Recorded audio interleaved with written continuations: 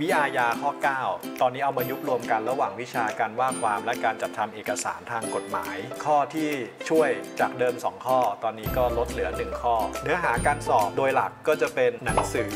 สัญญาคำร้อง พวกนี้คือตัวหลักโอเคนะครับมาดูพาร์ทของคำร้องคำขอคำแถลงคำบอกกล่าวกันนะครับการบรรยายเนื้อหาคำร้องนะครับส่วนที่1นงนะครับคดีอยู่ขั้นตอนไหนนะครับวิธีการเขียนคดีอยู่ขั้นตอนไหนนะครับผมจะแบ่งออกมาเป็น 3 กลุ่มนะครับ กลุ่มแรกคือเป็นกรณีที่เรายื่นในวันฟ้องคำร้องอะไรก็ตามครับยื่นในวันฟ้อง เราจะเขียนว่านะคดีนี้โจทย์ฟ้องจะไปต่อศาลในวันนี้นะครับ ต่อไปเป็นกลุ่มที่2ครับคือกรณียื่นคำร้องในวันนัดถ้าในวันนัดเนี่ยเราก็จะบอกว่านะคดีนี้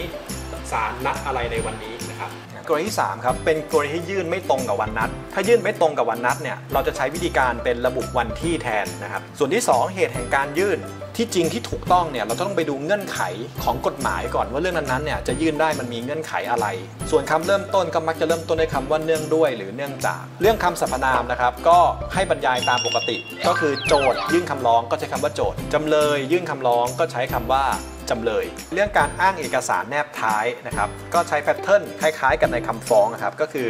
เริ่มต้นด้วยคำว่ารายละเอียดปรากฏตามวงเล็บสำเนานะฮะสำเนาตรงนี้ก็คือบางอันมันเป็นสำเนา บางอันเป็นต้นฉบับ อันนี้จะต้องดูเป็นกรณีกรณีไปครับ เอกสารท้ายนะครับเนี่ยอันนี้อันที่สองสำเนา อันที่สามครับเอกสารท้าย ท้ายอะไรขึ้นอยู่กับเอกสารที่เราเขียนนะถ้าเราเขียนคำฟ้องเราก็คุ้นเคยกับเอกสารท้ายคำฟ้องนะถ้าเรานะทำเป็นคำร้องก็จะเป็นเอกสารท้ายคำร้อง ถ้าเราเป็นคำแถลงก็เป็นเอกสารท้ายคำแถลง ถ้าเราเป็นคำขอก็เป็นเอกสารท้ายคำขอ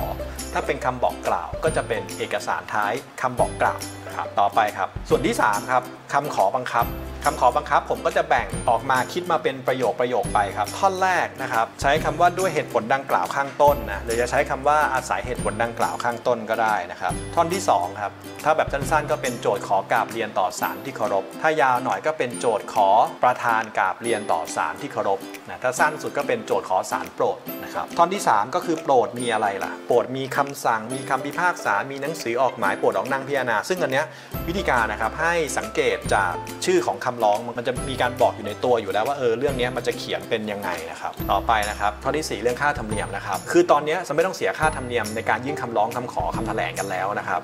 แต่ว่ามันจะมีค่าธรรมเนียมอื่นๆ ซึ่งอันนี้เราต้องไปศึกษากันนะครับ ต่อไปครับ 3.5 ครับ เพื่อประโยชน์แห่งความยุติธรรมนะ อันนี้ผู้บรรยายตอนนี้ชอบเหลือเกิน ก็เขียนเขียนไปครับ ไม่ต้องคิดเยอะครับ สุดท้ายก็เป็น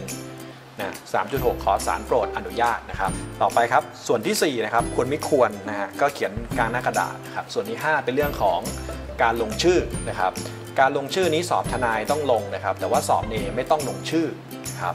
ต่อไปเดี๋ยวมาดูตัวคำร้องขอยกเว้นค่าธรรมเนียมศาลกันบ้างนะวันนี้ก็เป็นตัวที่เขาชอบนะครับก็ง่ายๆนะครับปกตินะครับเราจะขอยกเว้นค่าธรรมเนียมศาลกัน โดยยื่นมาพร้อมกับคำฟ้องเลยนะครับก็จะเขียนว่าเป็นคดีนี้โจทก์ฟ้องจำเลยต่อศาลในวันนี้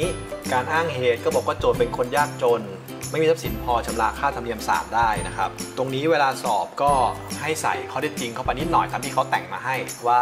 ไม่มีเงินนะครับหรือยังไงนะครับอันนี้แล้วแต่ตกงานนะครับโดนวิกฤตเศรษฐกิจอะไรก็ว่าไปนะครับหรือถ้าไม่รับยกเว้นจะได้รับความเดือดร้อนเสียหายเกินสมควรนะเช่นเงินน่ะพอจ่ายได้ แต่ถ้าเกิดจ่ายเงินก้อนนี้ไปนี่มันจะ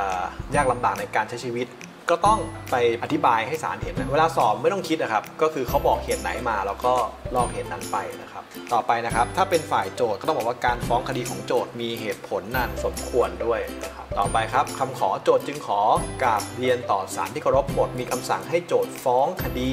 นะโดยได้รับยกเว้น ดูสิ่งที่รับยกเว้นนะครับ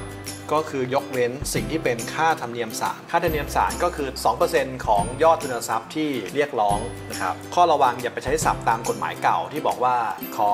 ฟ้องคดีอย่างคนอนาถาตอนนี้บอกขอยกเว้นค่าธรรมเนียมศาลนะครับโอเค ถ้าอย่างเงี้ยเราจะรู้ว่าปกติศาลจะนัดไต่สวนใช่ไหมก็บอกขอศาลโปรดนัดไต่สวน และมีคำสั่งอนุญาตนะแต่ว่า